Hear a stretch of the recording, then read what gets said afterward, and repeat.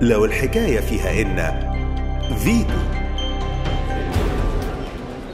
والوثيقة اللي بذل فيها جهد كبير ممثلين وفنانين وصناع دراما في النقابات الفنية.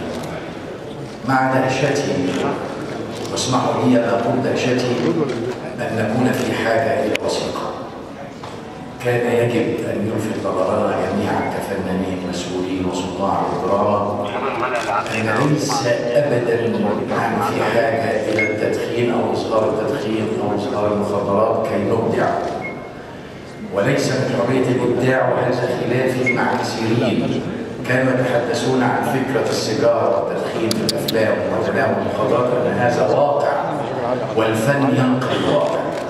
قلنا مرارا يستطيع الفن أن ينقل الواقع ولكن عليك كمبدع أن تكررني فيه أو تجعلني ضد هذا السلوك.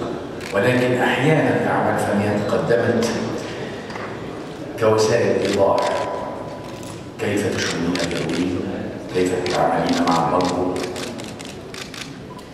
أنا شايف نحن لسنا في حاجة إلى هذا وأنا طبعا مخرج والزميل عمر عبد العزيز لما قال المسألة هتبقى بالتدريب مش محتاجين تدريب والله أي كلام ممكن يقول.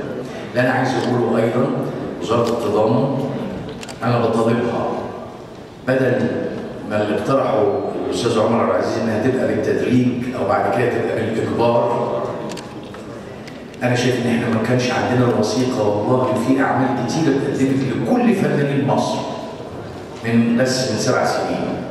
يعني لغاية من سبع سنين قدمت اعمال كثيره ما كناش بنشوف فيها هذا